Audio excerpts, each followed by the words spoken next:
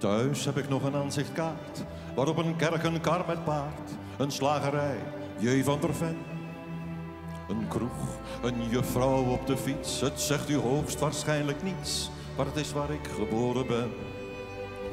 Dit dorp, ik weet nog hoe het was, de boerenkinderen in de klas, een kar die ratelt op de keien. Een raadhuis met een pomper vol, een zandweg tussen koren door, het vee de boerderijen. En langs het tuinpad van mijn vader zag ik de hoge bomen staan. Ik was een kind, hoe kon ik weten dat het voorgoed voorbij zou gaan? Wat leefden ze eenvoudig toe, in boerenbloemen en een hoen, en simpele huizen tussen groen. Vandaag begin ik mijn wandeling in, bij het eh, NS-station in Barendrecht. De wandeling is ongeveer eh, 17 kilometer volgens de route. We zullen zien.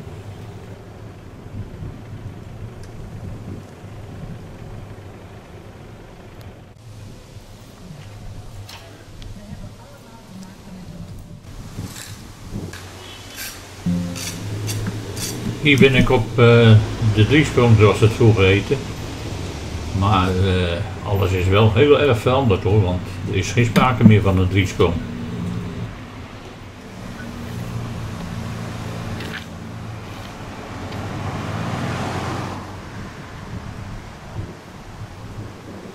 Wat opvalt als je hier eh, wandelt is dat er ontzettend mooie parken zijn. Dat hebben ze mooi gedaan in Barendrecht.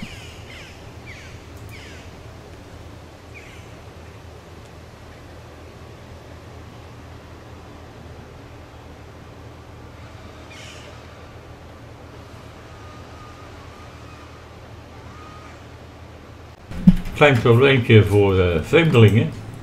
Als je even door zo'n park loopt, heb je geen flauw idee meer welke kant je op moet om naar het dorp te gaan. Ik heb het dus maar even geïnformeerd bij de locals. De gebroken Meeldijk.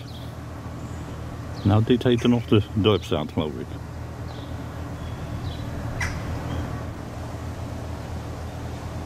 Nou, deze boerderij ken ik nog wel. Ze zijn me nou het. En dan loop ik hier naar, eh, naar het dorp toe, naar de dorpstraat.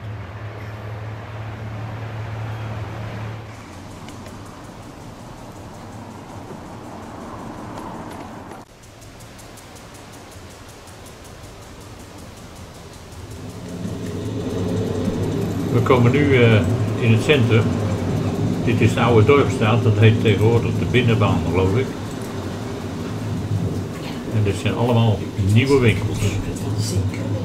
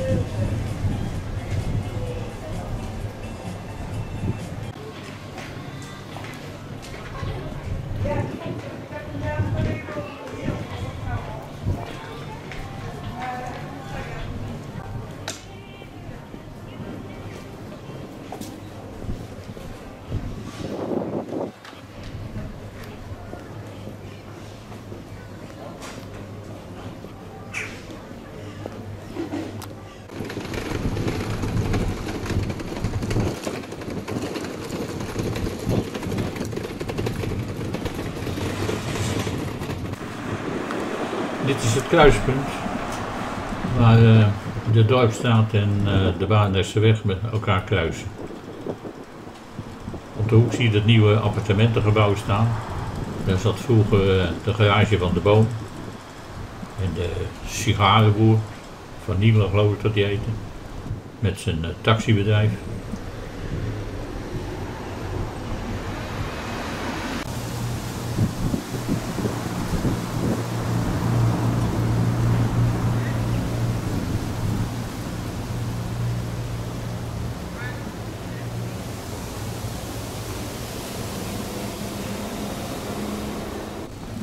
Voor mijn gevoel nog steeds eh, het echte centrum van het dorp. De dorpstraat. Met daarin uh, de Dorpskerk en het Doormanplein.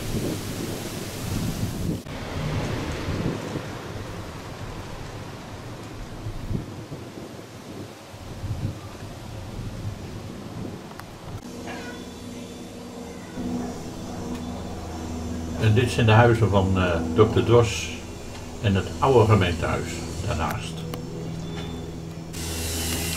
En verderop natuurlijk naar het Doormanplein.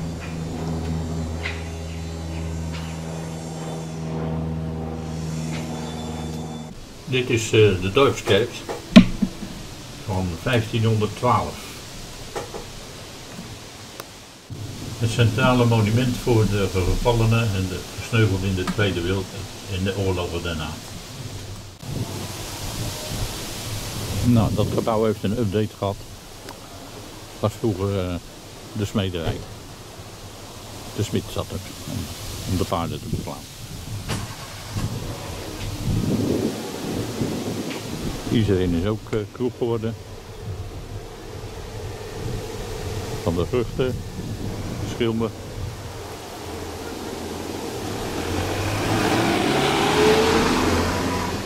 En vanuit het raadhuis is Diggels rechts eetcafé geworden.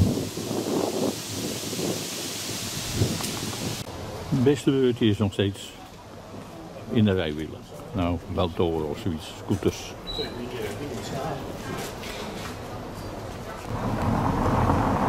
De kaarswinkel is uh, kapper geworden. Dat is het geboortehuis van opa. Nou, er zit niks meer in geloof ik. Oh ja, Onnik Autobedrijf staat erboven. Dat is het huis van Piet Goud. Die woonde daar met twee zussen, dacht ik. En op die muurtjes heb ik heel wat doorgebracht. Dat witte gebouw was uh, volgens mij heel vroeger de pastorie van de uh, gereformeerde kerk die daarnaast stond. En later zat uh, de drukkerij daarin. Van de schakel, onder andere.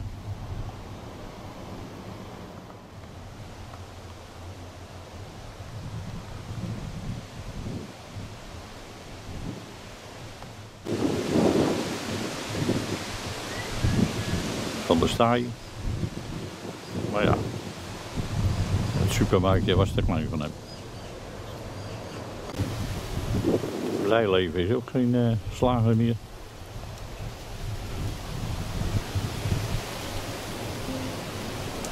En verder op de dorpstraat in uh, westelijke richting.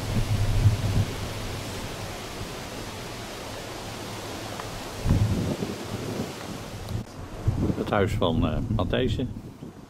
Die repareerde fietsen. En die was volgens mij nog ergens familie van mijn moeder, van oma.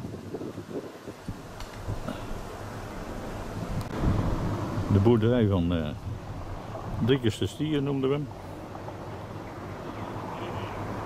Het was een... Ja, hij was geloof ik nog lid van de provinciale staten of zo, of van de, van de Tweede Kamer. In ieder hij was uh, fervent SGP'er. En deze school staat op de plek waar uh, Jaap en Jannie gewoond hebben. En waar...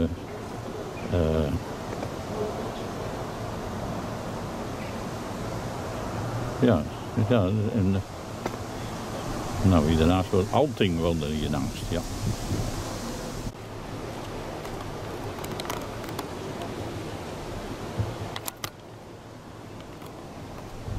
Dat zijn de huizen aan het, uh, zoals dat vroeger heette, het kolaspad.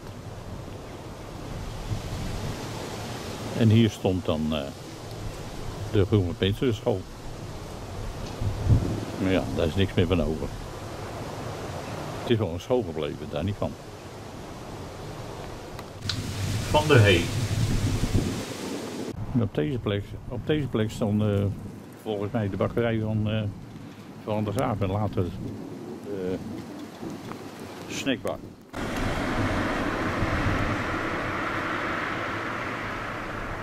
Hier kruiste de tram de Dorpstraat. Of de Voordijk, net hoe je het wil noemen. Daar ging je naar beneden naar eh, de Talmenweg. En daar lag de tramput waar nou dat huis staat. Hier ook nog een, eh, een zadelmaker, zat er op de hoek. Die zat in leer.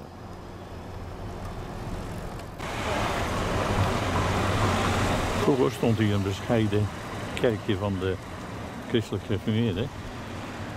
Maar die tijd is voorbij. Ze hebben een flinke toren erop gezet. En het verspikkelijk de nieuwe kerk volgens mij.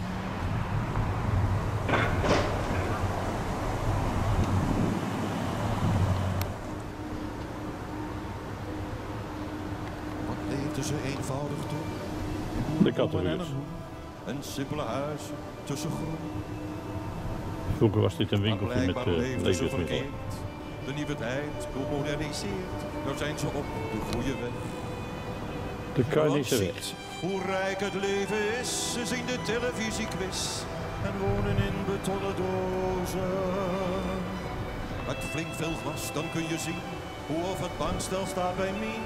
En het er een zwaan met plastic. En verder gaan we in eh, westelijke richting. eh, van de, van de buurt dus naar Smitshoek.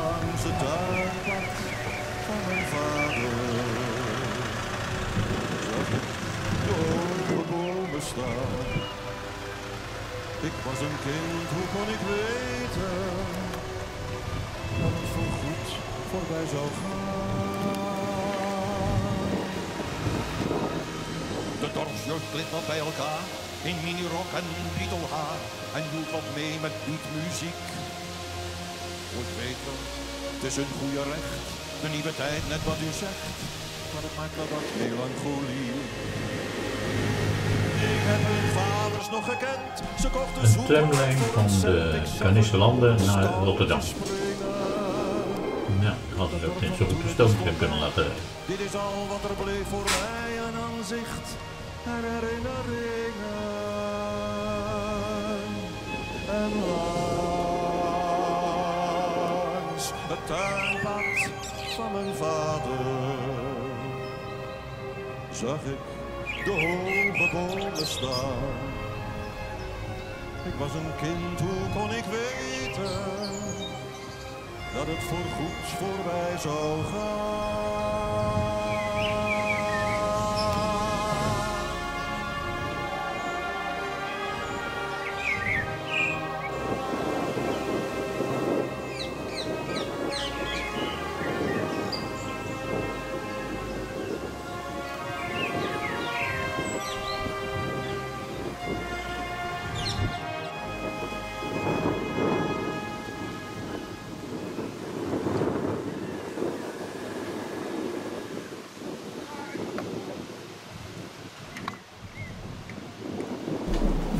Dit is het huis op eh Voordek 492 waar wij eh, ingetrokken zijn, dat we gekocht hebben toen we getrouwd zijn in 1968. Hier hebben we gewoond tot eh, 1972. Eh, hier is Marnix ook geboren. Dus daar zijn wel leuke herinneringen aan. Moet je je dus voorstellen dat toen de tijd leefden wij hier met alleen de buren die we net gezien hebben en aan de andere kant de familie De Winter. En dan aan de overkant zagen we de spruiten en de aardappelen en zover als dat je kon kijken. Niemand verder in de buurt. En de koeien liepen langs eh, de kant van de sloot en de dijk naast ons huis.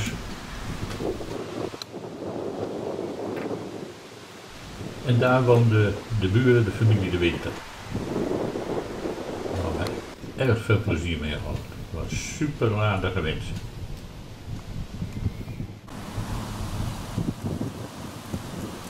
Het centrum van Smitshoek, Café Het Schaapje.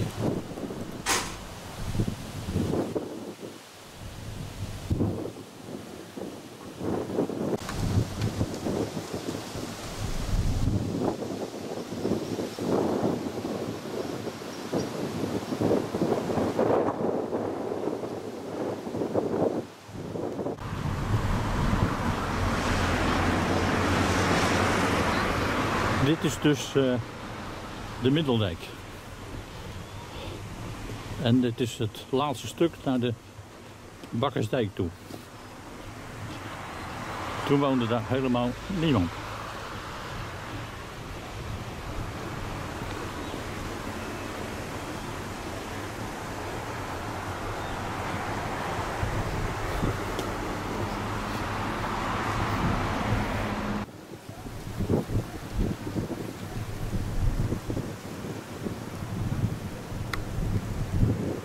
En dit heet het uh.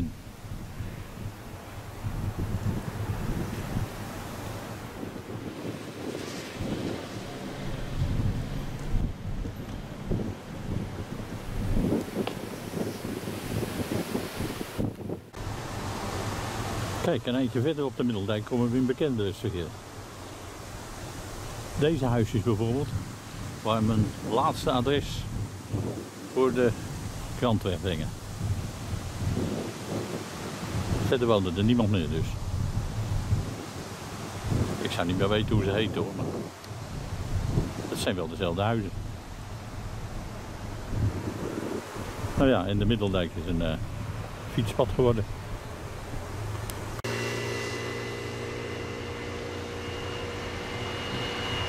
Daar woont ook een, een otter die was lid van de gemeenteraad, als ik me niet vergis.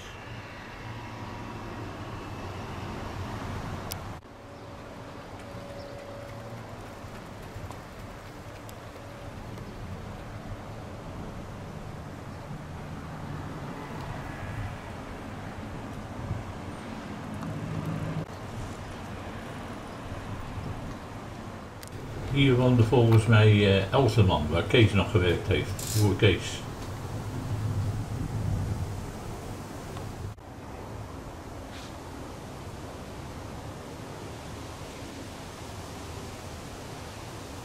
Die kwamen ook regelmatig.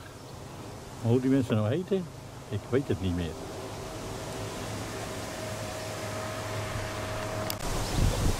In de tuin van die linkse velden stond een... Uh, een pruimenboom. En uh, toen ik heel klein was had ik zo'n pothulpje aan. En die mocht ik dan vullen met pruimen. Ik vind het nog steeds lekker. Daar woonde de familie uh, Lodder, dacht ik. Daarnaast weet ik ook niet meer. Want daar heb je de plek waar de, uh, hoe heet het, de stoomtram de dijk overstak. Nou, je moet er nog voor stoppen, maar... Ja, dit was, uh, dit was uh, de tramlijn. Daar woonde Witte, denk ik.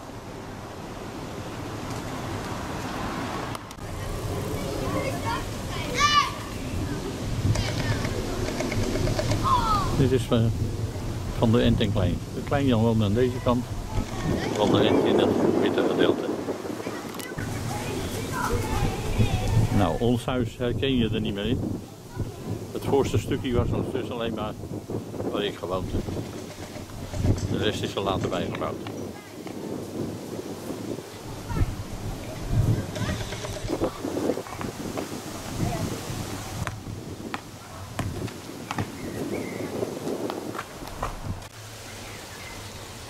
Je kunt het niet meer voorstellen. Maar het is echt de waarheid, hier zwommen wij. Wel iets breder dan nu hoor.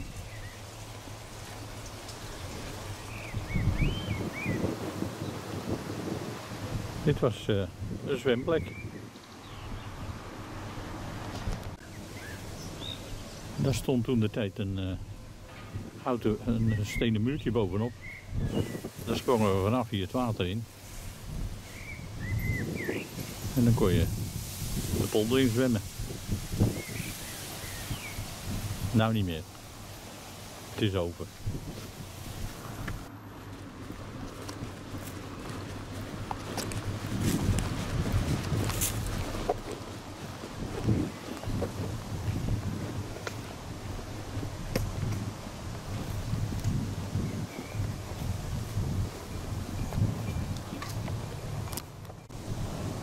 En dat is het huis van uh, Dat was een ZZP'er. Die had een, uh, een, een broodbakkerij. Beneden in de kelder. En zo af en toe mochten we daar s'morgens warm brood halen. Dit is de kruising van de Buinderseweg met de Middeldijk. Daar woonde meneer die, uh, die deed in, in brandkasten. Weet niet meer hoe die heet hoor, maar...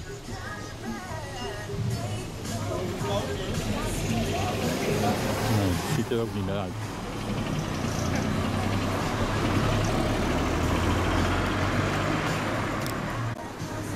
Daar stond vroeger uh, in het weekend de ijsboer, als het warm was.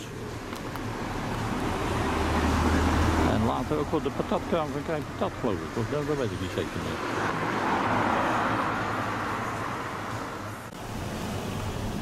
Hier stond uh, de Hooimeijerfabriek. Je kun je ijs niet moderniseert. Nou zijn ze op Is dat de goede weg.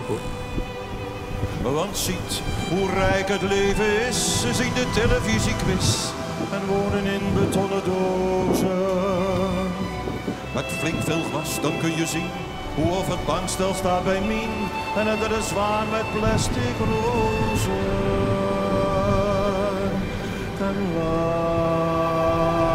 Langs het tuinpad van mijn vader zag ik de hoge bomen staan. Ik was een kind, hoe kon ik weten dat het voorgoed voorbij zou gaan? De dorpsjeugd glimt wat bij Op deze plek ongeveer eh, was vroeger een struintje we veel gingen zwemmen. En dan was het eh, de kunst om naar de overkant te zwemmen. En dan zo weinig mogelijk met de stroom mee, anders moest je aan de overkant weer een heel stuk teruglopen. Ik heb hun vaders nog gekend. Ze kochten zoethout voor een cent. Ik zag hun moeder stoutje springen. Dat dorp van toen, het is voorbij. Dit is al wat er bleef voor mij. Een aanzicht en herinneringen. En langs het tuinpad van mijn vader Zo, we komen weer een beetje zag ik in. Dit is de Zeedewijtse dijk, zoals die altijd al was. hier is niet veel veranderd. dat het voorgoed voorbij zou gaan. Misschien alleen omdat eh, het eh, agrarische land is tegenwoordig eh, natuurgebied geworden. Ja, of dat nou mooier is.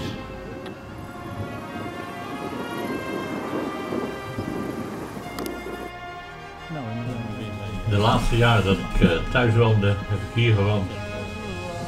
Op de Lingen 2. Het tuinpad van mijn vader zag ik de hoge bomen staan. Ik was een kind, hoe kon ik weten dat het voorgoed voorbij zou gaan?